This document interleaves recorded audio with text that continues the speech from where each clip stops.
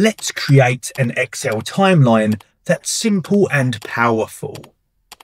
Highlight the months and height columns, then go to the Insert tab and select a column chart.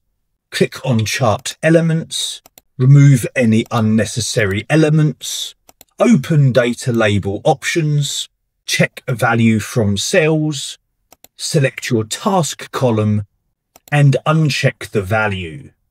Select the bars, set shape fill to white, then add error bars. Set to no cap and 100%. And apply a pink outline with three point weight. Format the data labels to match the bars. Add arrow style and bold the text for clarity resize your chart and update the title. Now your timeline updates instantly whenever values change. Like and subscribe. Tap to watch the next tutorial.